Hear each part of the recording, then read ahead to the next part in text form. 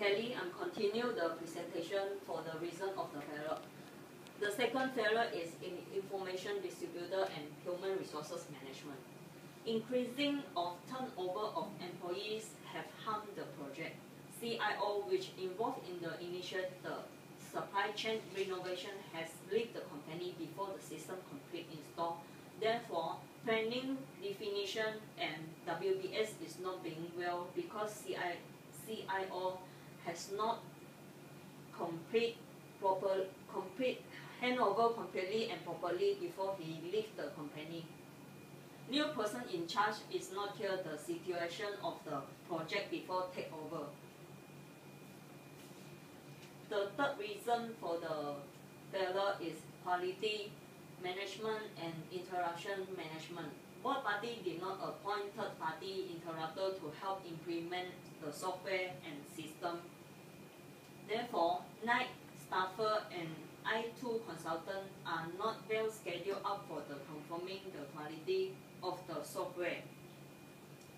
Analysis found that using a third party interrupter was of critical importance.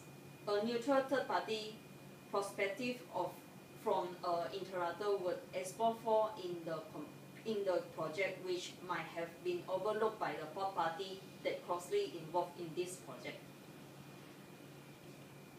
Last, last reason is failure in time management and risk management. Missing out commissioning schedule and did not pretest the system which would have re revealed the greatest at a much earlier, earlier stage. Furthermore, Nike has extended the new system to its thousands of dispersal, supplier and distributor simultaneous to upgrade the original system with new application software. Another problem was Nike implement two major projects at the same time. Both projects which is supply chain and CRM were huge.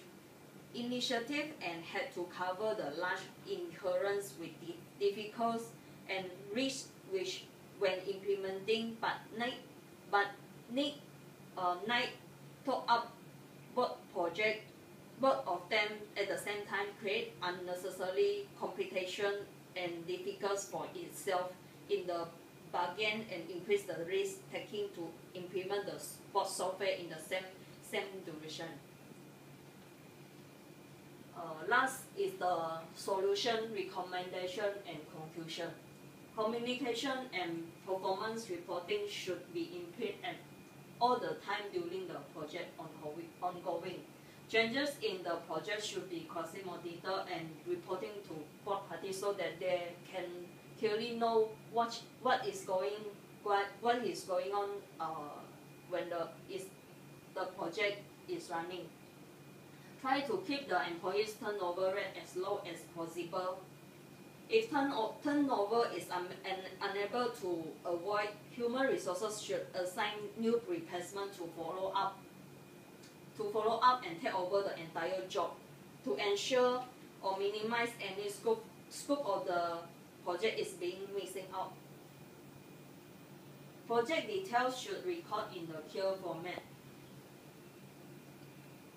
Third-party interrupter must be assisted to be held implement and checking the performance of the new software.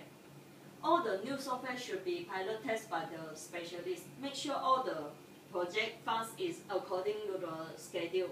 Allocate and educate time schedule for pre-test and executing the software product. That's all for our presentation. Thank you.